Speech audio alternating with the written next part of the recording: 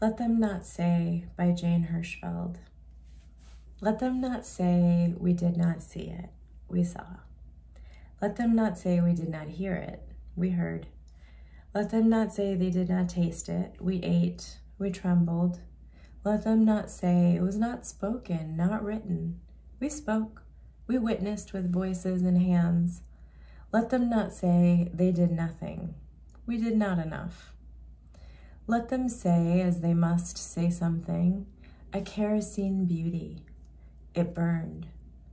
Let them say we warmed ourselves by it, read by its light, praised, and it burned.